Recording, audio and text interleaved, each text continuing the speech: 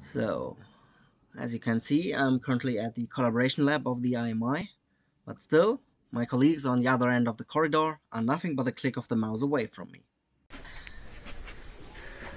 Hey Julian, Hi, Karl. how are you? I'm good. Want to go?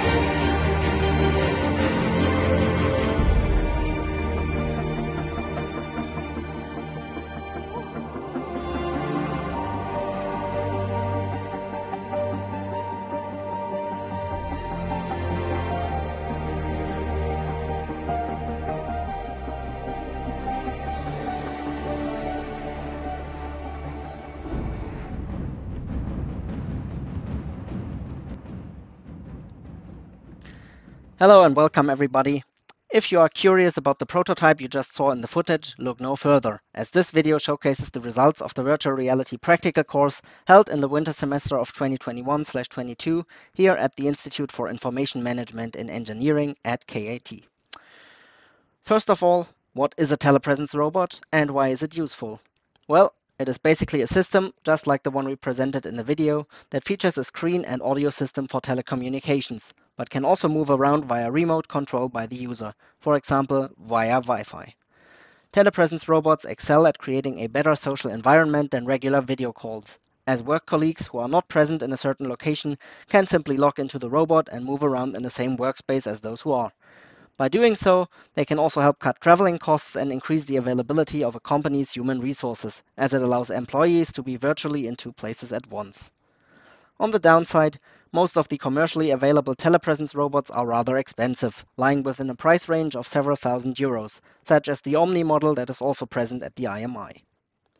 Our solution to this problem was to create a DIY version of a telepresence robot that stands out through its low costs, as all the necessary components to build it can be purchased online or at a hardware store in your area, which also enables families and educational institutions with lower budgets to build their own. A shopping list with our recommendations for buying many of the parts as cheaply as possible is part of the documentation we submitted to the Institute. When buying everything required to assemble our hardware, it is possible to stay below a threshold of 200 euros. The only thing not included in this estimation is the tablet PC, as the system is compatible with a lot of models and it is up to the user how much money to spend here. A lot of perfectly sufficient Android tablets are available at a price range of less than 200 euros as well, which still makes our entire system much cheaper than any of the commercial models. Alternatively, users could also choose to integrate a tablet PC they already own prior to building the robot, which would allow them to save these costs entirely. Any software we used in creating the robot was entirely open source. For the building instructions of the system, we chose to venture down two completely different paths simultaneously. On the one hand, we created a step-by-step -step instruction manual in the form of a PDF document, including images and CAD screenshots to illustrate the building steps. On the other hand, we also chose to create a virtual reality assembly guide using the Unreal Engine that can help a user to understand and practice all assembly steps in the correct order. Following this outline, our objectives for the semester shaped up as follows. First of all, our hardware team was tasked to improve upon the previous semester's group's concept for a DIY telepresence robot before building an actual functioning prototype. Our other main objective was to create a step-by-step -step virtual reality assembly guide using the Unreal Engine. This task also came with two optional objectives that we managed to complete by the end of the semester. The implementation of a replay system that allows for users to skip back and forth between instruction steps in the VR environment and to rewatch an animation detailing a building step if something was unclear the first time around. We also included a feedback system that tells the users whether they assembled the parts correctly. Our work on the hardware began with an iteration of the previous concept design, which you can see on the left, which we turned into the one you can see on the right. Our new system features increased durability and stability thanks to the sandwich structure in the bottom, is height adjustable and taller than the previous version, while also remaining more cost efficient. a complete inventory of the exact parts we used is part of the instruction manual. In the beginning of our assembly process, we pre-manufactured our wooden and plexiglass pieces by manually drilling holes into them and sawing them to the correct length. Then, we assembled the sandwich structure, added the internal electronics and motors before mounting a cover plate and the lower tube. We added a tube adapter from the hardware store to connect the two tubes, whose rubber seal ring provides enough flexibility to change the upper tube's relative position. We finally added the upper tube, tablet holder, tablet and some wheels and began conducting our drive tests. The audio system was also added at a later point. For creating some of the pieces, we used the 3D printer and CNC milling machines at the IMI. Alternatively, these pieces can also be purchased online or finished manually. The internal electronics that make our robot work include a Wi-Fi capable Arduino, on top of which we stacked a motor driver shield that drives two powerful DC motors with integrated gearboxes that provide enough torque to propel the robot. Both the driver shield and Arduino are powered by a power bank each. Not pictured here are some additional components required to make the system work, like a DIY transistor bridge that we had to solder onto two pins of the Arduino to prevent the power banks from automatically shutting down once the motors were stopped and two ultrasonic sensors, one in the back and one in the front of the robot, to warn the Arduino about impending collisions.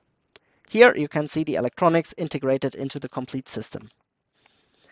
In addition to assembling the hardware, we also created a CAD model of the entire assembly, including all relevant systems.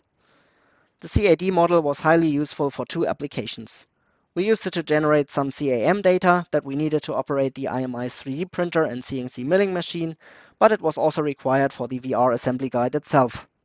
We converted the assembly into a step file, which we imported into the Unreal Engine via Datasmith plugin.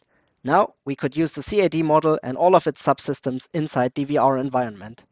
This procedure essentially makes our VR environment truly universal, as different CAD models for entirely different technical systems could be imported into the engine in order to create their own assembly guides.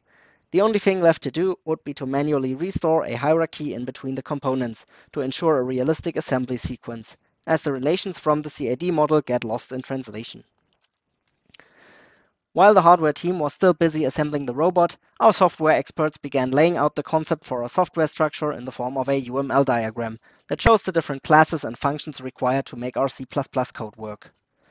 We also designed a level environment inside the Unreal Engine that features two workbenches for the robot and the parts, and this control panel with four buttons to allow the user to start the assembly or disassembly process, to activate the replay system, or to undo the last actions if mistakes were made. After many hours of coding and testing, we finally managed to record the following footage of a complete working assembly and disassembly process. We began by disassembling a complete model of our telepresence robot. The yellow markings always indicate which parts have to be removed next from the system. So we're currently at the sound system here with the right and the left loudspeaker. Now we remove the uh, tablet holder and there's basically a number of ways we could go now. We chose the top tube here, as well as the tube adapter. And here you can see how a piece accidentally gets misplaced. There, our user lost it, so we just redo the step. The piece is back where it was initially, can be picked up again, and is placed here.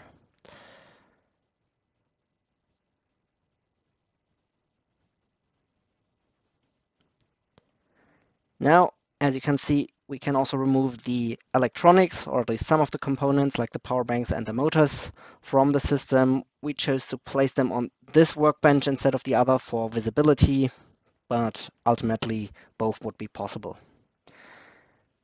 Now, removing the lower tube, the tube socket, and finally the base plate completes the entire disassembly process. Now you're going to see what the assembly process looks like in VR. So basically we start the assembly by pushing that button, uh, which decomposes the complete model you just saw into the pile of parts from earlier. The blue markings always indicate which piece has to be added to the system next. So now we're here with the lower tube socket. Now the lower tube. And the important thing to notice about this is that there is always this sort of blue ghost or robot that essentially tells us where to place the next parts. These animations were created inside the Unreal Engine by reverse playing uh, the recordings of the disassembly process we just did. So basically, in order to generate these assembly instructions, all you have to do is to once um, yeah, deconstruct the entire CAD model, and then we end up with something like this. So now we're back at the electronics. The green thing is the Arduino, which is placed in the front. Both of the electric motors are added. Now the front wooden support structure. Next piece is the top plate, which has to be lowered over the bottom tube. And as you can see right here, I made a mistake. I didn't place the piece correctly, so our system lets us know by just snapping it right back to the position where it last was before that.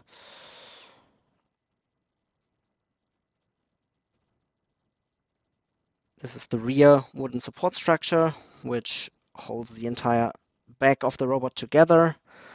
And our friendly support helper here tells us that we have to add those side pieces next. Now we continue with the wheels. Notice how this is the exact order in which we disassembled the system in the earlier part of the video. Now this is the swivel caster. We move on to the ultrasonic sensors. There are two of them. One of them is placed in the back of the robot. The other one belongs in the front. Then we add the tube adapter top tube, the tablet holder. In real life, you could also just put those two together first before inserting the top tube. It doesn't really matter. Uh, now you can take the pieces of the sound system and add them, including the microphone. And the final step would be to attach the tablet PC. That's it. Thanks for watching. If you're curious about the other projects here at the IMI, please don't forget to check out the other videos that show the results of previous semesters group's work.